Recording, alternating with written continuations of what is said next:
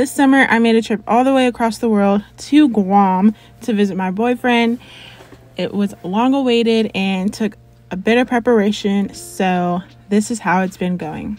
I've been here for exactly four weeks so far, so I've been adjusted, the jet lag is gone. I flew here on June 7th. It came down to it, like I felt like I was so prepared, but then it when it came down to packing, procrastinated just a little bit. Then I also wanted to see my friends before I left because I normally see them over the summer because um, they were in school. And so I was like, let me see everyone like the, the week before I leave. And so packing kind of got pushed back. So I ended up packing um, the day before, but it turned into the night before, which meant I didn't go to sleep. So I had a 7 a.m. flight from DFW to San Francisco to catch, and I was packing all night. I did not go to sleep. So I leave tomorrow. My flight's in the morning, and it's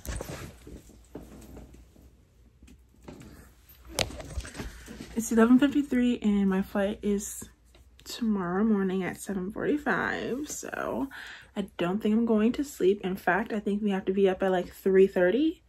So I only have about three more hours to finish packing. But I was just getting everything together and I remembered I had forms to fill out.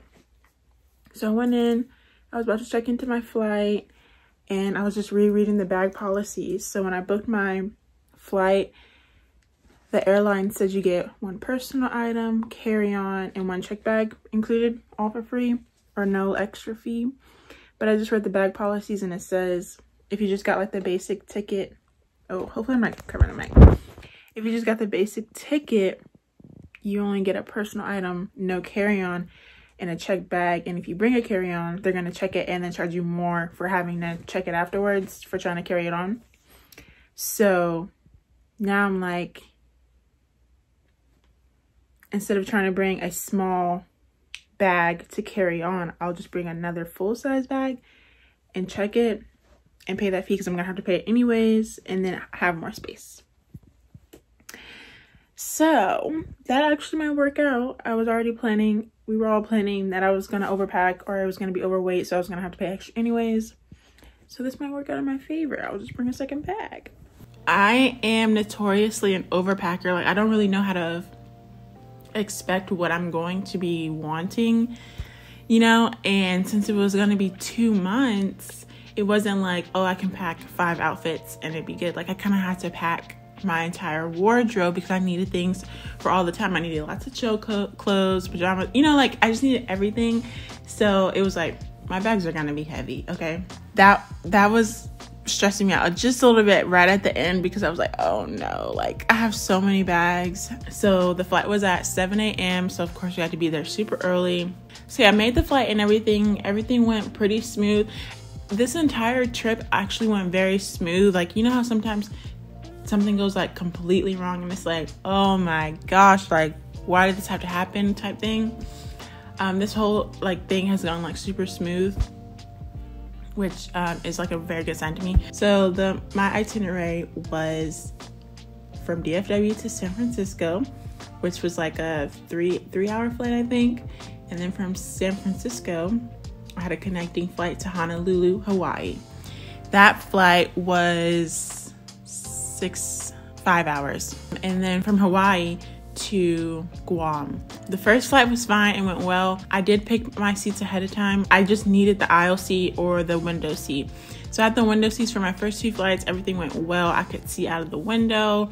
There was nice views. I loved seeing, you know, flying over the United States and seeing every all the different terrains and stuff. But when it came down to that last flight from Hawaii to Guam, which was seven hours, uh, I gave my seat up to this mom who wanted to sit next to her kids, and I was like, "It's fine, it's fine. I'll just I'll be sitting next to her, so it'll be fine." Like we, I was just switching from the aisle to the middle. I was trading seats with her. Then she traded her aisle seat that I gave up with the man who's gonna be sitting on the other side of her kids and so I ended up not getting my seat back, and I was sitting next to like two big men, and it was so terrible. Oh my gosh, it was so terrible. Their arm, like the arm, the legs, oh my gosh. just thinking about it, it was it was torture for me. The entire time I was flying, I was flying like during the same times. So because the time kept changing, so I was basically flying like all morning, all morning. Like the time kept changing until I got to Guam, and then I was like transported a day ahead. It was crazy. Like that was also messing me up because I was like I wanted to go to sleep, but then it kept being like 10 a.m.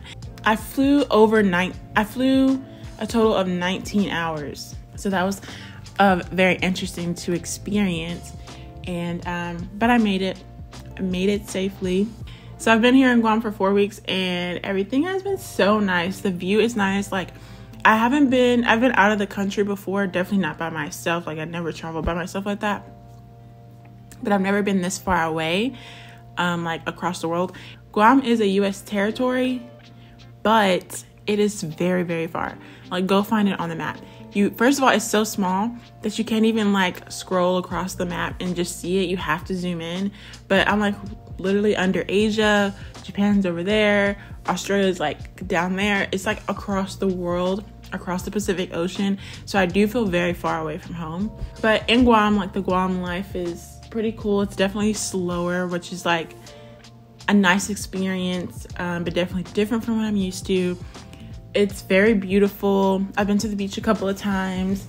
I've been cooking a lot more, okay? Okay. Yay, I'm gonna try making some flatbread, falafel from this mix that I've never, I've only had fresh falafel, never out of a, a mix like this, but excited to try this. And then some hummus from scratch.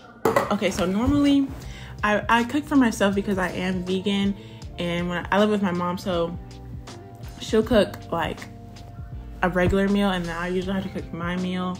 Um, but normally I get a lot of food from my dad. Um, he'll cook stuff and then like I'll have like a lot of food. And so I was definitely had that little like cushion of like, oh, I can get something with my dad. I ate out, I guess, a lot more than I realized that I did at home, or just like ate a lot of snacks too. Pricing of things is a little bit different. Um, there's like, they're definitely more expensive. Some items are more expensive because they have to be like imported, you know, a longer way yeah, I've been cooking for myself a lot more. Like I made falafel. I wanted to make it from scratch because my dad has a recipe, but and so he recommended like getting the falafel mix, which I didn't know existed. And I was able to find it here. So I made falafel and flatbread and hummus. I do really like to cook and I do know how to cook very well if I do say so myself. And I just haven't had to like utilize my skills that much, which is funny because when I was younger, I think that's when like my interest in cooking was at its highest and that's when I learned I love to bake. Like at one point I wanted to be, I wanted to have like a cupcake shop. I wanted to be a pastry chef. The other week we did drive around like the entire island of Guam. It's not super large. There's only like 170,000 people. The population is only 170,000 people. Coming from the United States, it feels, it probably feels small, but I'm sure if you like lived in other countries, it probably wouldn't feel like super small. But like coming from Texas and you can drive 30 minutes and still be in in what's technically Dallas, it's pretty crazy because here you drive 30 minutes and you're across the entire perimeter of it. So we drove across the entire like south of the island and saw all the land. There's like mountainous areas. You can hike here. There's lots of water. There's like little islands next to the island. And it's really nice. There's also coffee shops. I haven't tried all of them yet. There's one called Island Girl and I love to get matcha from there. I haven't gotten it in like a week. Last weekend we went to this like underwater observatory where people can like scuba dive but then you can walk down flights of stairs and then see like fish underwater in this kind of like submarine style thing. That's what it, it reminded me of like the inside of it looks like how a submarine would look. I've never been in a submarine, but you can see like all the fish swimming around and you can see people swimming under there. That's what's been going on in my life. I've been in Guam. Um, yes, I'll be here for a couple more weeks. It's definitely been an experience, not only like living with, technically like living with my boyfriend, but um, also just for myself, like being on my own, away from my parents and my family. Uh, is something that I never really did. I didn't go, or I did go to college. I did m- completely move to college into a dorm and left within like three weeks. Um, I have a, a track record in my like youth of just not being able to be away from my parents. So I'm really proud of myself in that aspect. Like it's been a definitely like a good experience for my personal growth as well as for like our relationship. So yeah, it is my birthday month. I'm very excited about that. I'll be 23 this year and um I'm excited for like just living up the rest of this month soaking it all in. I'll try to keep y'all updated as much as you guys want to be updated. Like I didn't I was a little bit hesitant in like sharing all of this and like posting this video. I don't even know how it's gonna turn out because I just like have a whole bunch of random footage and clips that I'm piecing together because I just wanted to share it and document it and like I just wanted to have it as like a memory.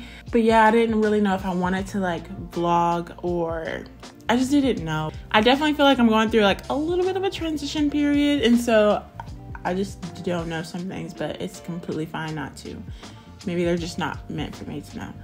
Yeah, that's all that I have to share today. Um, I hope you guys enjoyed this video, and I will talk to y'all in the next one. Bye.